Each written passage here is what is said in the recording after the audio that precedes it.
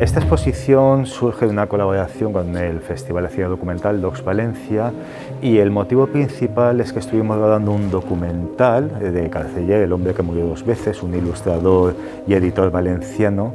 eh, que fue fusilado en el paredón de Paterna. Entonces considerábamos que era necesario mostrar cómo estaba todavía vigente a lo largo del tiempo y del planeta la presión sobre la prensa y los ilustradores, especialmente los ilustradores políticos. Y nos pusimos en contacto con Edel para que nos dijese cuál era su situación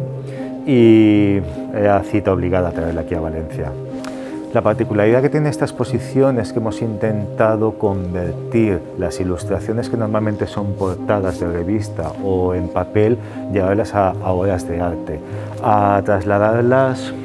a esculturas. Para eso hemos contado con la ayuda de Gero Bueno, que es el director de arte, que nos ha ayudado a transformar todo este mundo de Eder Rodríguez y convertirlo en, en esa obra de arte, que ese es el motivo principal por que se expone aquí en el Centro del Carmen.